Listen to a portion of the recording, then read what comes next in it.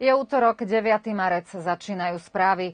Prezident Srbska Aleksandar Vučić dnes hovoril so srbským členom predsedníctva Bosny a Hercegoviny Miloradom Dodikom, a to pred plánovanými návštevami, ktoré ich čakajú v najbližšom období. Vučić sa chystá na návštevu do Spojených Arabských Emirátov a do Bahrajnu a Milorad Dodik plánuje cestu do Turecka. Dnes hovorili o význame týchto návštev, o srbských politikoch a o podpore Srbska smerom k Republike Srbskej, kde je hlavou Dodik.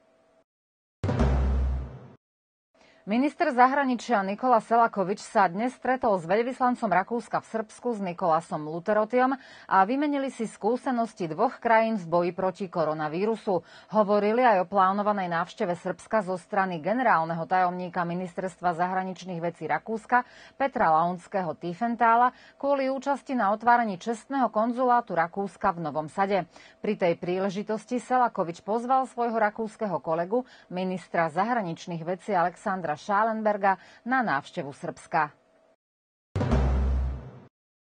V hospodárskej komore Vojvodiny dnes predstavili štyri výzvy pokrajinského sekretariátu pre hospodárstvo, ktoré boli zverejnené 1. marca. Cieľom týchto súbehov je, aby sme spolu s opatreniami vlády Srbska zachovali čo najviac pracovných miest. Jednou z najdôležitejších podmienok na našich súbehoch je tá, aby uchádzači počas následujúcich šiestich mesiacov neznižovali počet zamestnaných o viac ako 10% v prípade, že využívajú prostriedky pokrajinského sekretariátu sekretariátu. Vyhlásil to tajomník pre hospodárstvo pokrajinskej vlády Nenad Ivaniševič. Zdôraznil, že celková hodnota týchto súbehov je 270 miliónov dinárov a ohlásil, že koncom apríla bude vypísaná aj ďalšia podobná výzva, na ktorej bude rozdelených okolo 42 miliónov dinárov. Podľa stránky COVID-19 DRS v Srbsku bolo za posledný deň testovaných 16 816 ľudí, z nich 4 576 malo pozitívne výsledky. Vo Vojvodine za posledný deň až 958 nových prípadov, z toho najviac v Novom Sade, kde za posledný deň pribudlo 280 pacientov. Stará Pazova za posledný deň 40 novo nakazených. V COVID ambulancii majú počas celého dňa služby 3 zdravotnícke týmy, dva pracujú do obeda a jeden po obede. Denne príde na prehliadku viac ako 120 ľudí. V našej obci je zatiaľ zaočkovaných 7500 osôb, najmä starších spoluobčanov a niektorí boli už zaočkovaní aj v druhej fáze.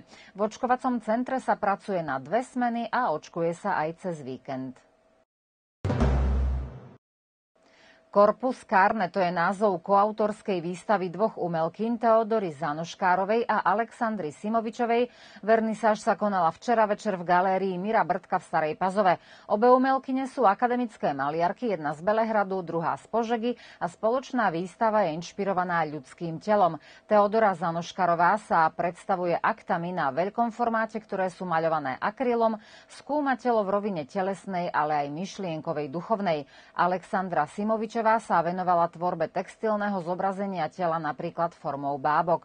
Výstavu otvorila akademická maliarka zo Starej Pazovy Dragana Olujičová a pre verejnosť bude otvorená táto výstava do konca marca.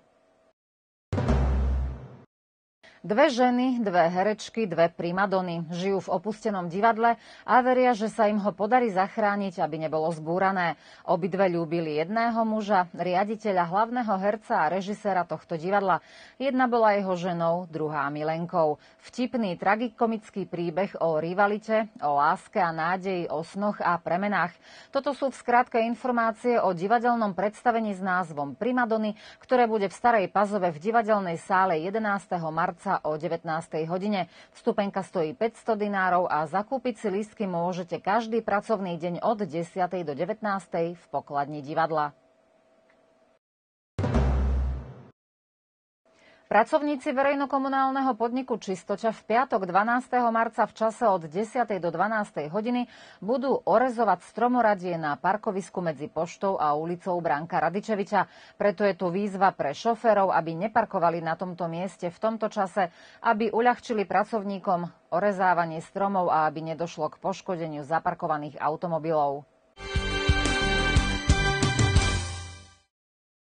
Stredu v rámci 26. kola basketbalovej ligy Srbska sa basketbalisti Dunaja v hale Park v Starej Pazove stretnú s mužstvom Vojvodina z Nového Sadu a zápas sa odohrá o 19. hodine. Naši hráči naposledy prehrali v Kragujevci, kde si zahrali proti Radničkým a nachádzajú sa teraz v nepriaznevej situácii, čo sa týka udržania sa v basketbalovej lige Srbska. Situácia je o to ťažšia, keďže v stredu hrajú proti výborným basketbalistom z Nového Sadu, ktorí sa držia na vrchole tabuľky tabuľky. Avšak v minulosti naši basketbalisti vedeli riadne prekvapiť a preto v to dúfajú aj tento raz.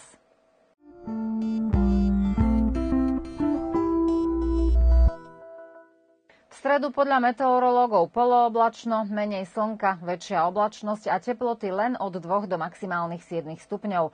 Vietor mierny, zafúka prevažne zo severu. Ešte pohľad do meninového kalendára. Dnes oslavuje sviatok svojho mena Radús, zajtra Branislav. Páni, všetko najlepšie na dnes to bolo zo správ. Všetko v rovnakom čase sa prihlásime aj zajtra.